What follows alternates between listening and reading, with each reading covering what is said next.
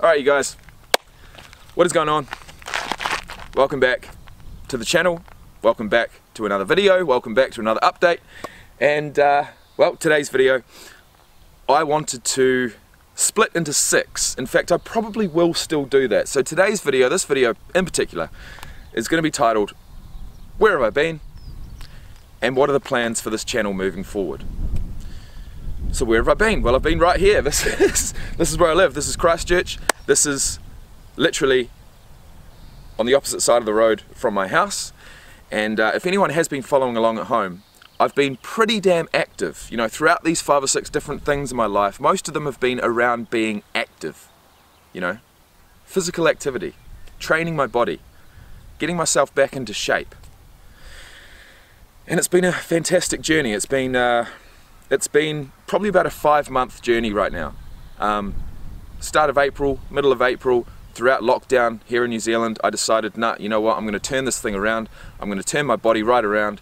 I'm going to get back in shape. I'm going to get involved in th certain things. I'm going to get back on a bodybuilding stage. I'm going to get back into my rugby team. I'm going to start studying again, become a personal trainer. I'm going to get my brand back on, you know, back off the ground, which I have done. I'm going to be doing different types of training, start running, I've been running pretty much every day, guys. Every day for five months.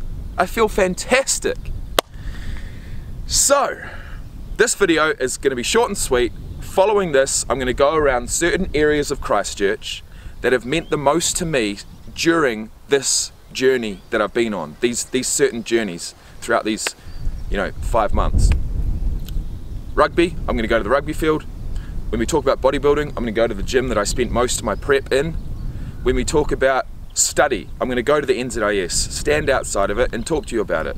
When we talk about my following bodybuilding show, because I am going to do another one, I'm going to go to the gym that I, that I uh, meet my coach Steve at for my posing sessions and I'm going to make that video there.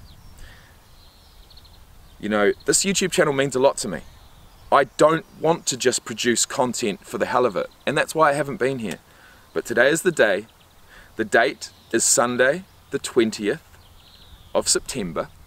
I'm feeling light on my feet, I'm feeling in shape, um, I'm feeling positive, and uh, well, you know, at, at the end of the day, these last eight weeks, whilst I've been studying, have been busy.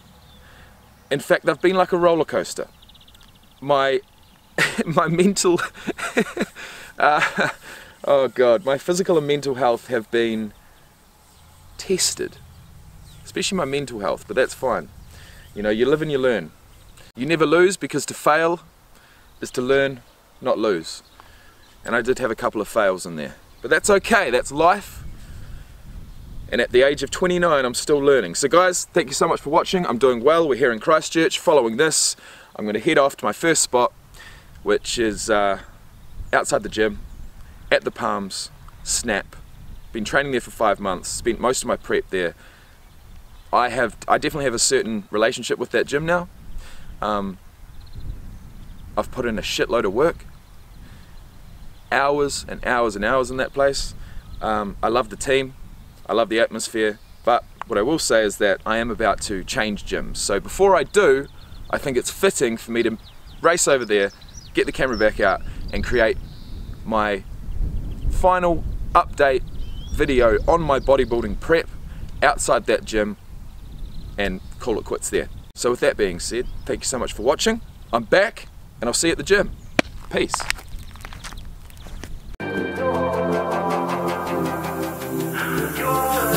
Like your style Put you in Chanel cause it's just perfect for your smile Girl, I swear for you I run the world, I'd run the miles